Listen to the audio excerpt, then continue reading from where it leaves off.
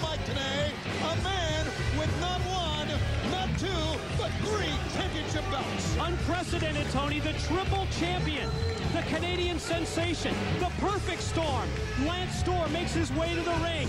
You know, I can remember when Goldberg was both U.S. and World's Heavyweight Champion. That was only two belts. Lance Storm championship belts in WCW. Incredible. You know, guys, the last time I seen something like this, I think it was about 10 years old, and I think it was Jose Why be serious for a minute?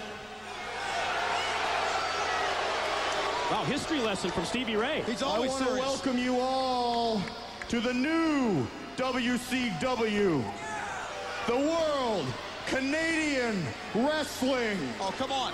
He's changed the name of two titles and now changed the name of WCW. This company has tried to keep me down You know, Tony, who does this But I have risen above is? it. He makes me and sick. brought honor and dignity to these titles. How's the company trying to keep him down? He's only been here a couple of months. He's been dominant And like since he's my been here. first two championships, How many people can say that, I am that, going Tony? to rename the cruiserweight How title. many? And I'm going to do it in accordance with the Canadian metric system. What? Gonna rename a third title now? It now? will be now known What did he say? as the Canadian 100 kilograms and under championship. Wait a minute, I forgot my conversion chart. How many pounds is that? It's not my fault. Did he say you don't understand Decimal? the metric system. It's not my fault that the greatest wrestlers come from Canada.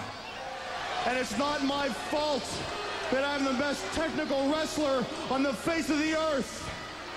Don't blame Canada. Blame yourself.